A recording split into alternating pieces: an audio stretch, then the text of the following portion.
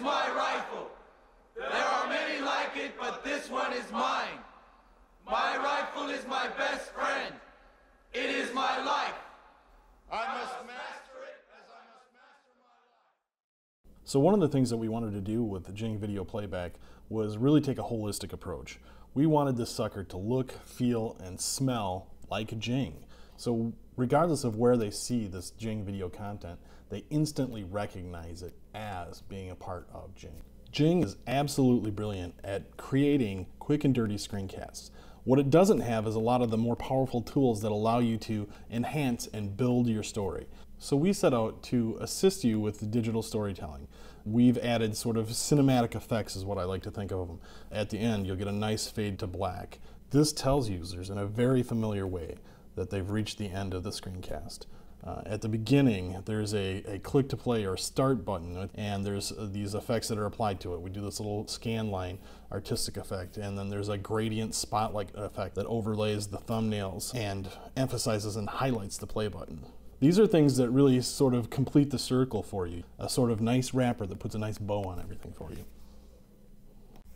When you start using Jing, you'll notice that we no longer have a video control bar underneath the video.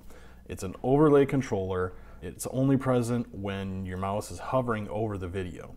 Uh, this helps resolve some of those uh, tricky problems like you've always got to add 18 pixels to your video's height when you embed it in a web page. For instance, I typically want to record in something like 640 by 360.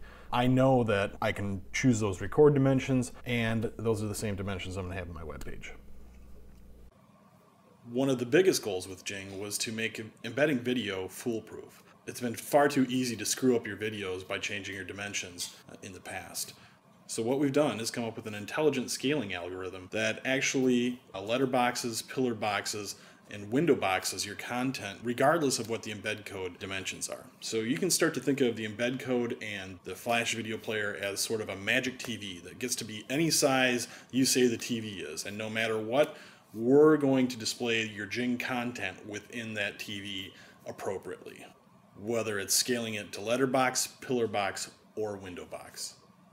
One of the final hurdles with recording and embedding Jing content is you typically often want to uh, record at much larger dimensions than you have available when you go to embed the content. So we're kind of uh, between a rock and a hard place. I know when I go to embed in my blog, I, man, I always want to show something that's larger than that space that I've got. So what we've done is when your recording dimensions actually exceed your embed dimensions, when you go into full screen mode, instead of scaling the video and making it all nasty, we actually scale it up to just one to one pixel clarity. So you get absolutely perfect crystal clear video in full screen mode. Ease. Good night, ladies.